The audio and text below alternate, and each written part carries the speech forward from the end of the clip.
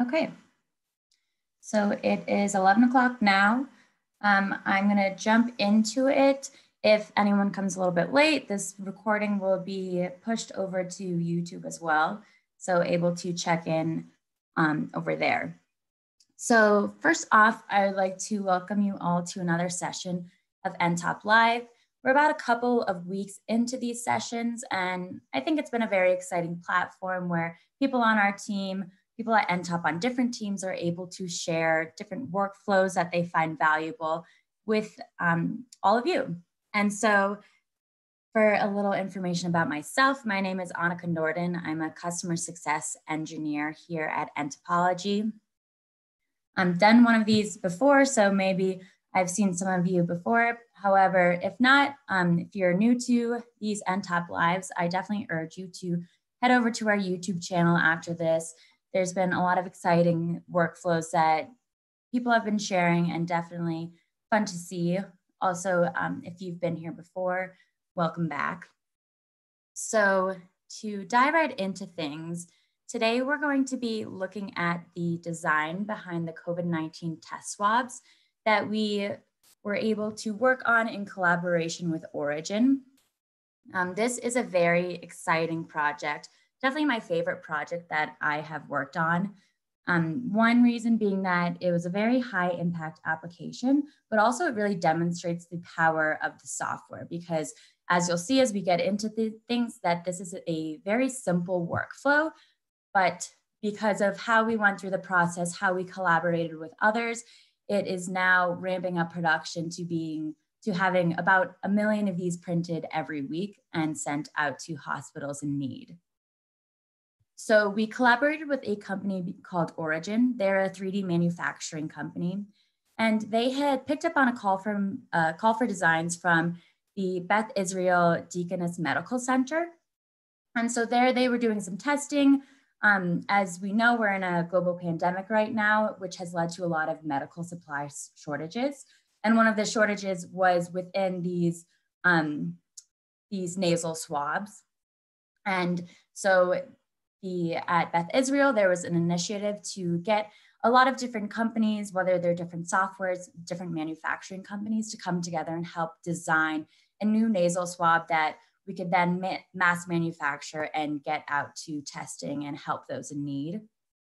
And so this was a very collaborative effort. Many different companies submitted and shared their designs, which allowed for a nice guideline um, to help others work from. We were able, everything was open source, so you're able to learn from other designs, pick up on um, factors that helped within the designs and some preliminary testing and work on our design from there. So as far as our design, um, the design team was made up of myself, Alex Meckes, Director of um, Customer Success, and Brad Rothenberg, our CEO. And so we all worked on this collaboratively in different ways. Uh, the first iteration was done between Alex and myself in actually under an hour. Um, pretty funny story. It was just a Friday afternoon, I'd say around four o'clock. I get a message from Alex saying, um, asking if he could turn, if we could turn around a project in just about an hour because that was the original deadline that we had in place to get the mesh to the printers um, and into testing over the weekend. And so within that hour, we were able to get this first iteration that you see on the screen here. From there, um, into the weekend, did a little bit of other iterations on there. And then we were able to pass it off to Brad, where he was able to create a DOE, also known as a design of experiments, where we're able to really hone in on the proper parameters and find that exact design that we know that will collect the most material for testing, but also be not as invasive. So it's a, a nice, easy testing process. So once we submitted our designs, passed them off to Origin, uh, we were able to get them up to speed with the software as well. So they were able to go in and quickly iterate, change a couple of parameters. And then through a couple weeks of testing over at the Beth Israel labs, um, little by little, NTOP, our, our initial design swab just kept passing um, the different rounds of clinical testing. Um, most recently, it was passed within some FDA requirements. And now, because of that, Origin has been ramping up production to print about more than a million of these a week. And um, we're able, companies and hospitals are able to order these swabs and get them shipped pretty quickly so that they're able to continue with COVID 19 testing. So, very exciting story. Um, but now, how to actually make this swab within the software. Um, so, we will, I'll walk you through this initial workflow that we have here. Very simple. Um, yeah, let's just jump right into it. So as you see up above here, I have defined a couple of points along the swab. So if I turn on the visibility of just these points here, you'll see how from the swab, we have these points along in this vertical direction. This is where we have our head. This is where the break point is. This is where the handle is going to be. Um, all of these were defined before. These I was able to come up with these because of the fact that this was an open source for design. Um, we were able to follow some design requirements, whether it was a specified section length or some recommended dimensions, maybe a recommended radii, um, and then kind of work from there. So we have our initial points. And then the next step was to generate cylinders. So this design that we have here is actually just a bunch of cylinders. Um, pretty simple. How that works is I'm able to bring in these predefined points and then define a radius to create that cylinder. So we see here, we've got our base cylinder. We have a little bit thinner break off point up here, um, and then going into the neck and then where the head design space is. Um, and then by using a quick Boolean union operation, as you see if I expand it here, I'm able to bring in a few of these cylinders and just union them into a singular body. Also, you, will notice I added a bit of a blend radius here. Um, this I have included, so we have a little bit nicer of a transition. Um, once we look at another iteration, we'll see that the transitions change a little bit there, but that was a nice um, low fidelity transition that we have within the staff. Now looking at the design space for the, the head, let's see up here. So this is the original design space for the swab head. Um, as you can see, it's actually just a sphere and a cylinder combined. Um, but with our Boolean operations, was able to bring those two quickly together. Also, you'll notice that we have these chips in here that are associated with these variables out here. So I made these inputs a variable so that I'm easily able to access them and change around the swab radius or where the point tip starts.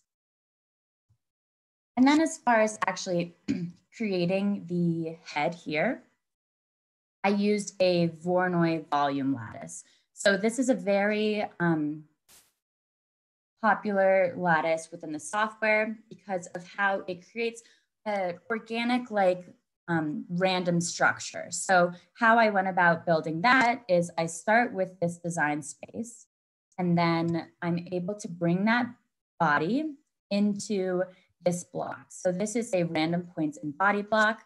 If I turn on the visibility here, you'll see it just creates these points. So I bring in a body, I define my point spacing of about 1.5 millimeters, and from there it generates about 60 points within that space. You'll notice I also brought in a mesh. So by bringing in a mesh of that original body, we're gonna be able to achieve a much cleaner um, head design, head space, because you have these nice outer boundaries that are gonna enclose that lattice. So as far as generating the actual lattice, um, this graph representation of the lattice, you'll see if I zoom in, these are actually infinitesimally small beams here.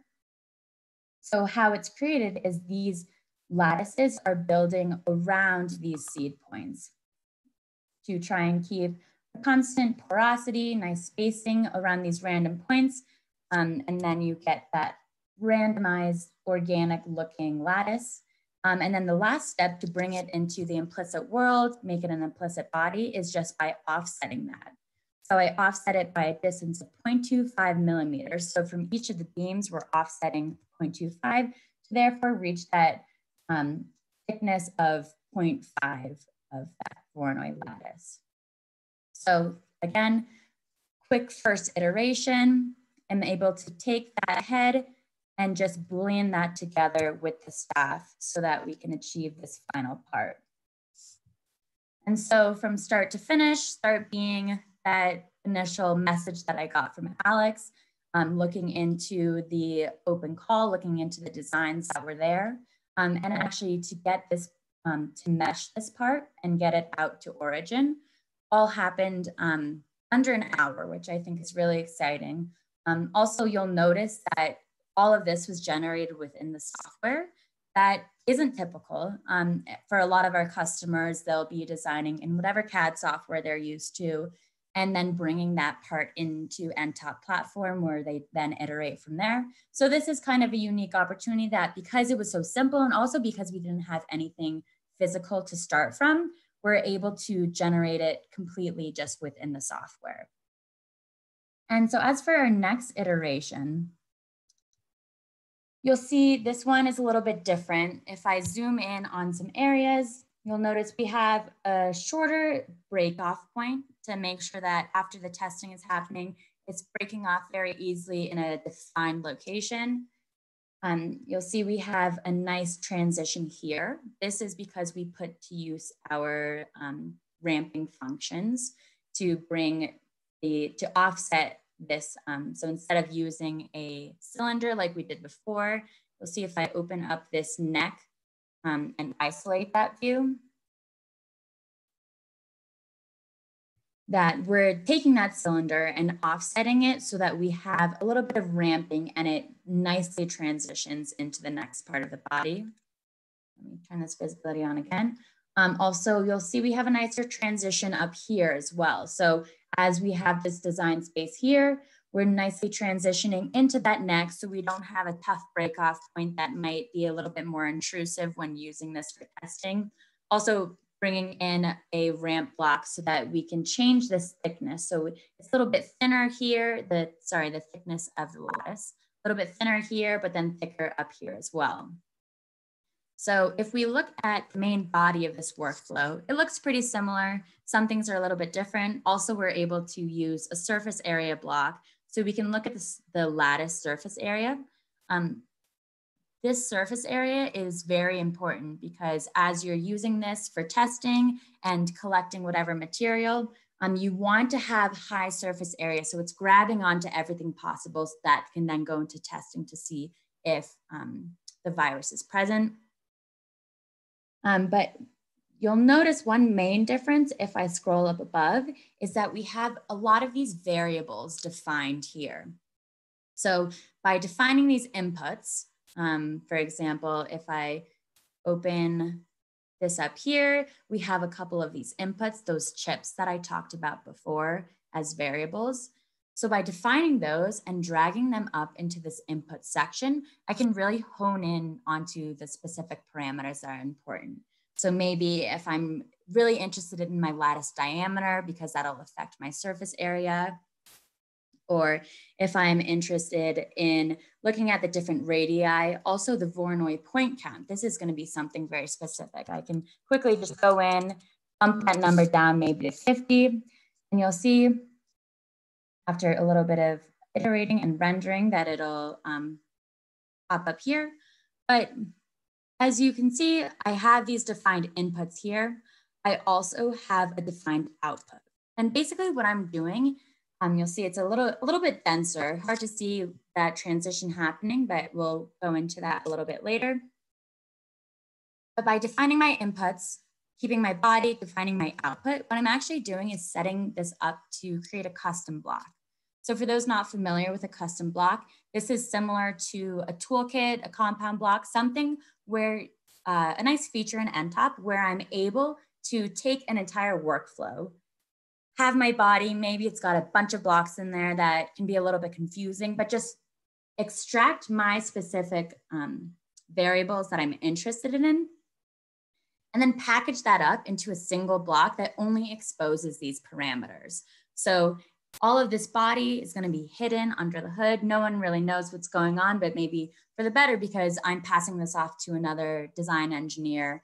Um, and all they care about is this up here. I develop the workflow. I just want to pass it on and they can simply work from there.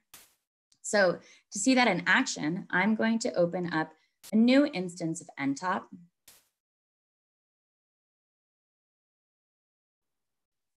Um, also, while it loads, I noticed a question. Someone asked about Origin um, being the name of the additive manufacturing and printing lab. Um, yes, that is the case. So Origin, they do their manufacturing over in California, um, and they're doing really exciting work. And I'll go into a little bit more about that afterwards. So here you see I have a new instance of NTOP. What I can do is actually file, import, um, and then grab this swab 2.4 that we were working on. My page looks exactly the same, no different, but if I open this up, you'll see that my block imported properly. And if I type right into here, swab, then you'll see my swab 2.4 pops right up.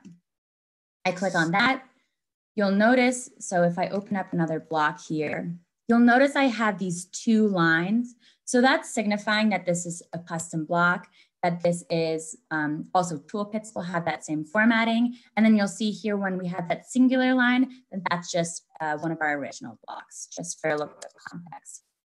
Yeah, so here we have that exact body imported directly into the system because again, we have this block, we have all of these defined parameters, and then our output was the actual body. So if I wanted to create what um, is known as a design of experiments, a DOE, then maybe what I want to do is have it a little more visible. So I'm just going to open up two more of these blocks, right? So I have three different swabs that I'm very quickly able to change the parameters. Um, right now, they're all overlapping because they're all starting from the same origin. So I'm just going to use translate block. I'm gonna drag this in here. Let's translate it by 10 millimeters in the X direction. And then let's do another one and bump that one over 20 millimeters so that we can see them all nicely on one screen.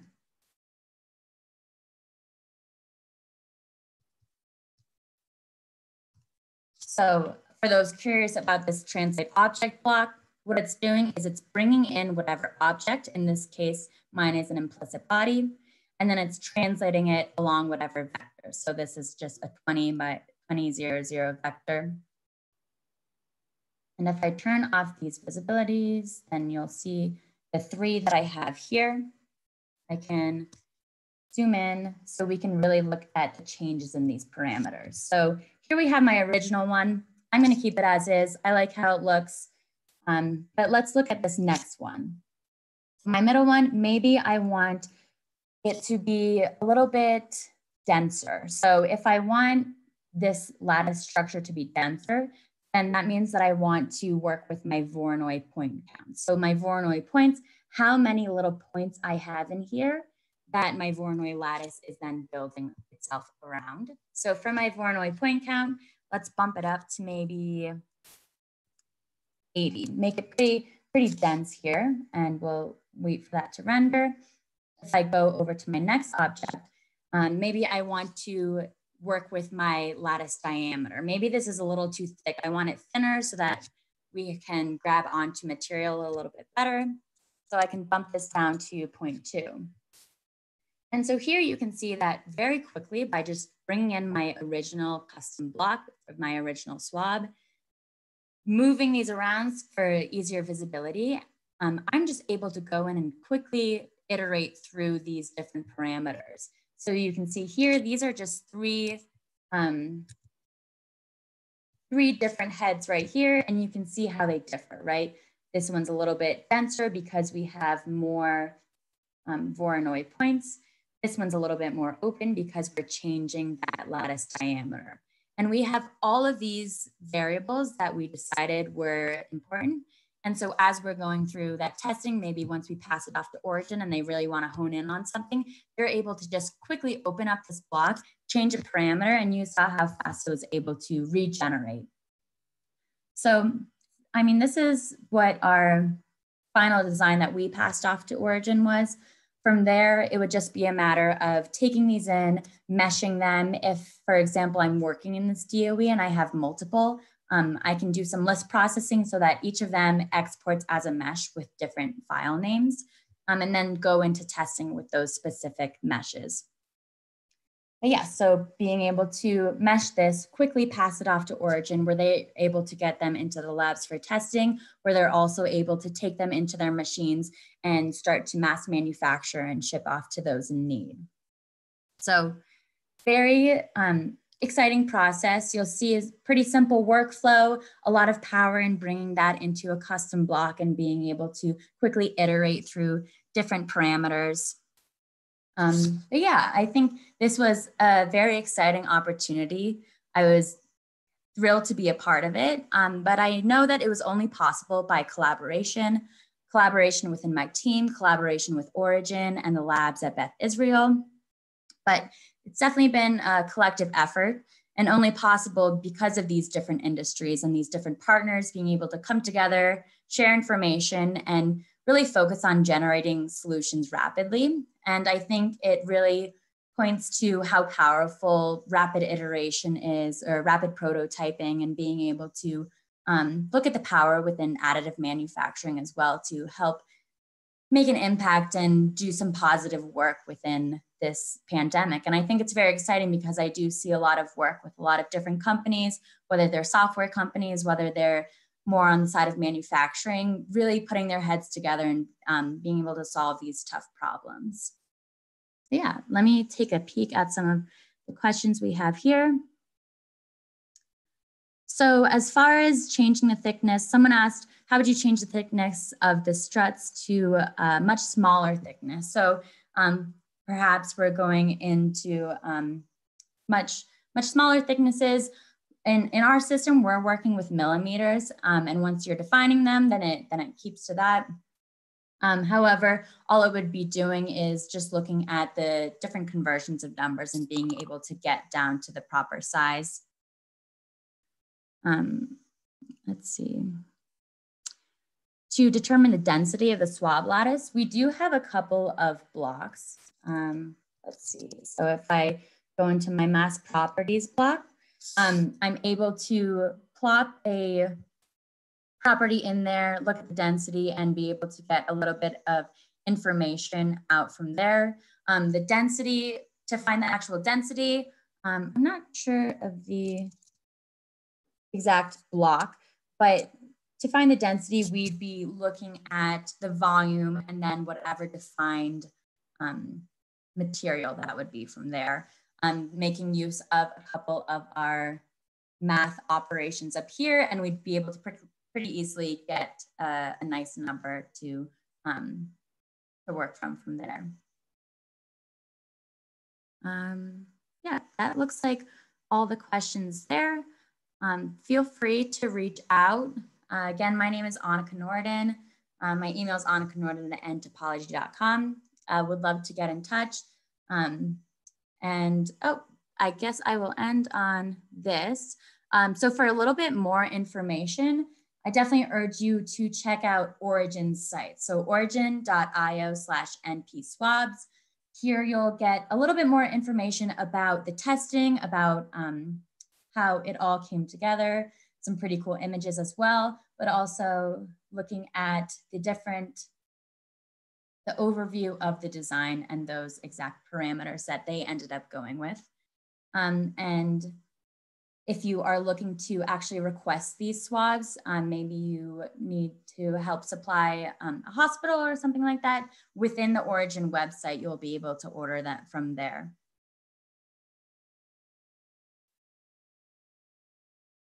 Um, oh, someone just asked about looking back at the modeling workflow. I can pull that up again. So this is the original workflow. This was actually created from scratch within NTOP platform. So just starting with a list of points, bringing together mostly cylinders in this case, and then creating that swab design space that we created that lattice from for this final part. But yeah, so for those who did end up joining us a little bit later, um, all of this will be shared on YouTube. While you're there, be sure to check out some of the other NTOP lives. Also, we will continue doing this every Monday, Wednesday, Friday at 11 a.m. Eastern time. So I urge you to check out the schedules and what we'll be talking about on social media. And yeah, looking forward to hearing what you all have to say. Um, and I hope you found this time valuable. Thanks so much and have a nice day.